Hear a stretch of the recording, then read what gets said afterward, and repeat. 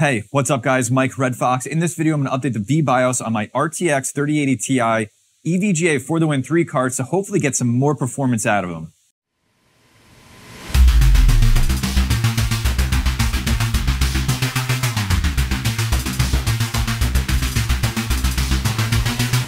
So let me just walk you through what I've been noticing. Let's switch over to Hive OS here. And what you see is my 3080 Ti rig, which has some different GPUs in it, but three of them are identical. And that's, there's three EVGA for the win threes in there.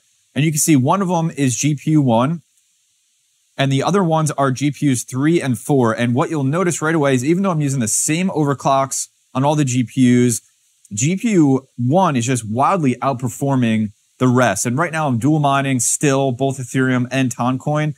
And you see GPU1 is doing almost 85 mega hash on ETH and 2.2 gigahash on Ton. And with these same exact overclocks, and I've tried different overclocks and stuff, but with the same exact overclocks, GPUs 3 and 4, which are both identical to GPU1, are not performing the same.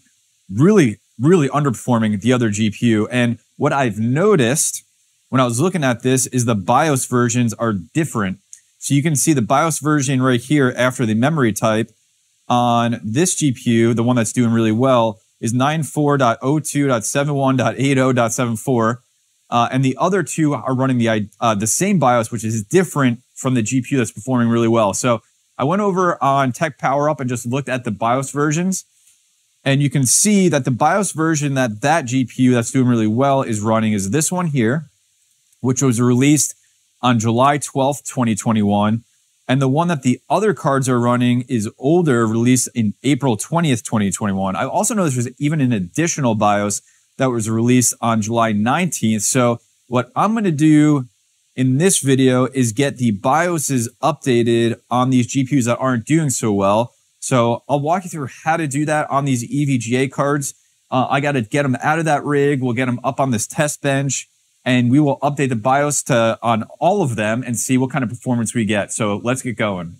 Got both 3080 Ti's out of the mining rig. I got one of them up on the test bench. So these are the two that are running the really old BIOS version.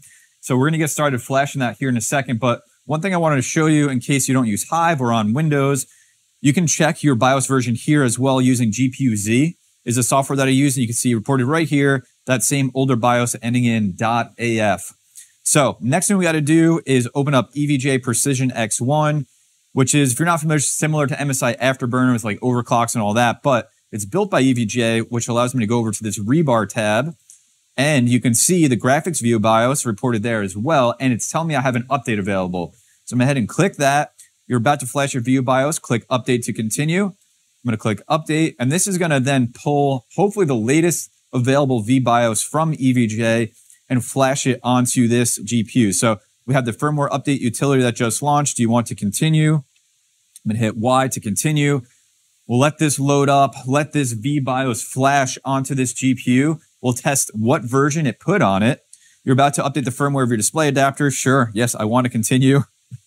Uh, we're going to see what version it puts on it. Hopefully, it's that latest one that we saw on the TechPowerUp website earlier. Uh, so you can see this is doing its thing. We have a progress.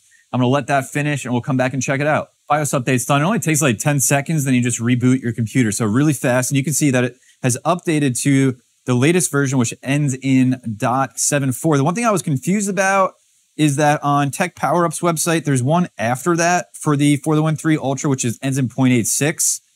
I'm not going to mess around with trying to manually flash that. I don't know if maybe that's for the hybrid card or what, but I'm just going to go with what Precision X told me the update was, which ends in 0.74, which is exactly what that other GPU that was performing really well does. So uh, let me get the other card flashed as well. We'll get them back in the rig and test performance. So I ran into a problem with this other 3080 Ti I'm trying to flash. So you can see in GPU-Z, it's something that has that same old BIOS version ending in .af that was also confirmed in Hive OS.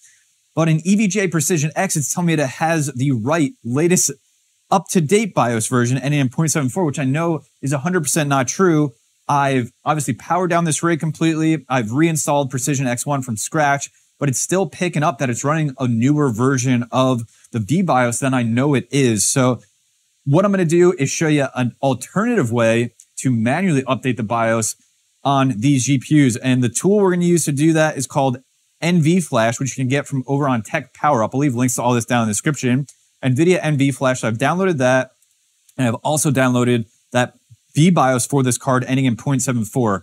And I have both of those saved on my desktop here. I'm going to walk through getting this updated manually. So let me load up NVFlash 64. Um, and you can see it gives me some instructions here. The command that I'm going to use is to update the VBIOS firmware. It's this first command. So I think what I got to do is probably load up the command prompt. I'm going to run that as administrator. Let me navigate over to where I have these files stored. So CD is change directory. Um, I'm actually go back first, back to the C drive, and then I'm going to do CD for change directory, uh, and we're going to go users, Red Fox, desktop, and that should bring me to the right location where these files are stored. So the next thing I got to do is put the executable that I want to run, which is NVFlash64, and then followed by that is going to be the BIOS here. Uh, so I'm going to copy the name of that so I don't have to type it all in. Let's paste that in, hit enter, and you can see it's loading up. It's checking for matches between the display adapters and images. And this is pretty much taking me down the same route that I was going down uh, when I was doing it in Precision X. So you can see again here, confirmed, current version is the old point AF, uh, and it's going to be replaced with the new version. So I'm going to hit Y to confirm that. This is going to do the same update, and then we'll just double check that this comes back with the firmware version that I needed to have. So we'll be right back. All right, that worked without problem. You can see BIOS version running now is 0.74. Let's get these both back into the rig. Rig's put back together and upper mining over in Hive OS. Been mining for about 45 minutes. And just a refresher here, you can see GPU one doing the same exact performance it was doing. It pretty much stays locked at 84.7 mega hash. I'm using lolMiner to do the dual mining of TON and Ethereum, and it never gets an LHR lock detected at all, ever in this last 45 minutes when I look at the miner. But GPUs three and four still do. Performance wise, GPU 4 is definitely much improved from where it was before, but GPU 3 is not. It's right around the same. So I think what I'm going to do now is tune these core and memory overclocks just a little bit to see if I can get these to match the same performance as GPU 1. So here's where I landed. I've been messing with this pretty much all day today, and I'm really frustrated. If you guys have any ideas, please let me know down in the comment section below. But I've definitely made progress. It's still not where I want it to be. So again, the benchmark is that 3080 Ti GPU one, which is doing amazing, even better than before. 85 mega hash on Ethereum, 2.3 gigahash on Toncoin right now. I was able to boost up GPU 4 really nicely. I was able to get the gigabyte GPU 2 boosted up really nicely just by messing with some memory overclock. Some of them I had to reduce, some of them I had to put higher. Um, and those are doing really, really nice. The one that's really frustrating is the other for the win 3 card, which is GPU 3. I am getting non-stop mining lock detected, LHR lock detected on this card in the lolMiner. I've tried every memory overclock. I've tried dialing it back all the way to 1500. I've tried core, no core lock. I've tried core locks as high as 16, 1700, as low as 1100. No matter what I do, this specific GPU is constantly getting LHR locked and it just keeps dropping the mega hash all the way down to what you see on your screen right now, 71 mega hash, which is I think worse than I even had it before. So I'm not really sure what happened.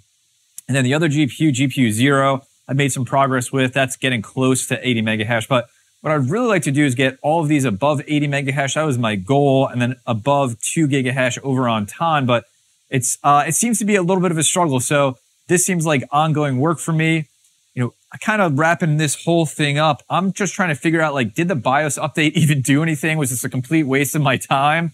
It seems like it helped a little bit, but perhaps I just needed to really look at figuring out the memory overclocks and the core clocks with this lolMiner Toncoin dual mining. You guys, please let me know your thoughts down in the comments section below. Hope you enjoyed this video. Thanks for hanging with me through it. Hit the like button if you did. Subscribe to the channel for more GPU mining content. Join my Discord if you want to chat. The link's down in the description below. Follow me on social media, Twitter, Instagram links are down in the description below. And as always, please take care of yourself Take care of each other, and I'll see you in the next video.